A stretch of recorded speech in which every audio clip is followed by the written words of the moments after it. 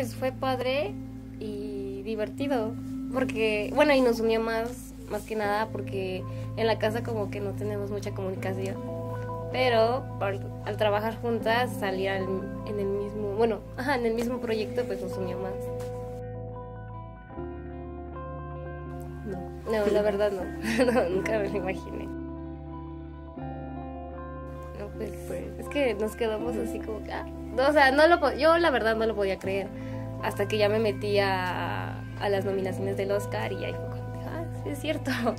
Pero no sé, me quedé así como impactada, no, no lo podía creer.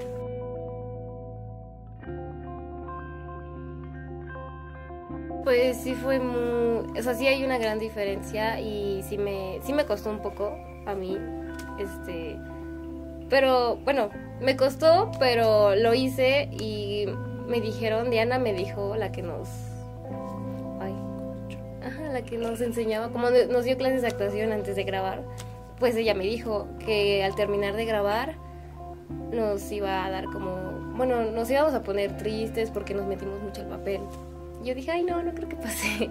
Y sí, o sea, sí, cuando terminamos de grabar me quedé pensando en cómo era Jimena, en la vida que llevó y que también hay una gran diferencia que, pues, yo doy gracias a Ministerio de Amor y ahora sí que a Dios por estar aquí, porque no todas, no todas esas niñas pudieron, pues, salir adelante como.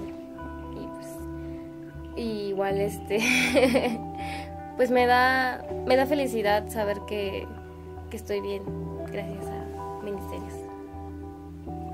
Pues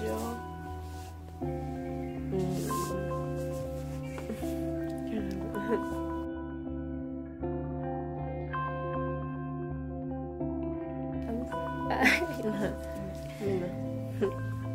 Me gusta mucho Carmen Villalobos y Eugenio Derbez. Yo quiero ser militar. Ah, sí. Yo todavía Porque me... yo veo que todos los hombres vuelan los aviones.